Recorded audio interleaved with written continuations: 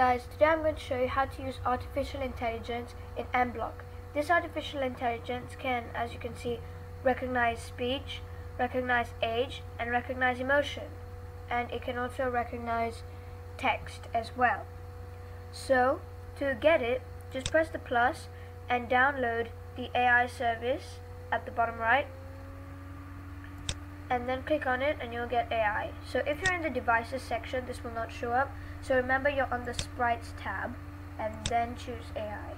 So this can recognize speech. For example, if I recognize speech in English and show the speech recognition result, then I click on this. As you can see, it'll show the speech that you just said. So that, uh, as you can see, this black screen is actually where the webcam is supposed to be. So you can see my speech is still working like that. So you can do lots of different things with this. For example, if I go into this panda and then I do when green flag is clicked, say say something.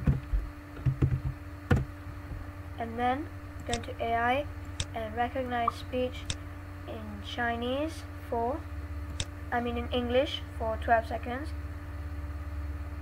Then, once it's done, uh, we're going to wait 3 seconds, then ask, then say, did you say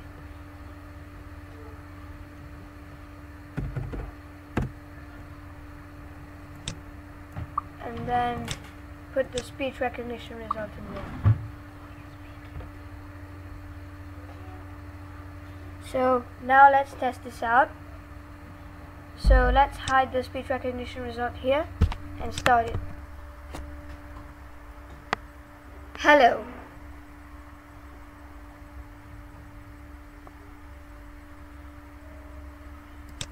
Did you say hello?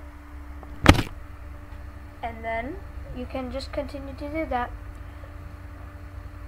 So as you can see this is how you can use AI in mBlock it's going to be very useful when you're trying to make some kind of interface in which the user is going to interact with the program and things like that. So it's a very useful piece of information and you can use it in a lot of your code. I'm going to see in places where I can use them. Then maybe that might be a bit helpful to you but otherwise that's pretty much it. You can also see you know different things like age recognition and emotion recognition. So you use the webcam for that. So yeah that's it. Thanks for watching this video. Hope you guys enjoyed it. Don't forget to leave a like comment and subscribe.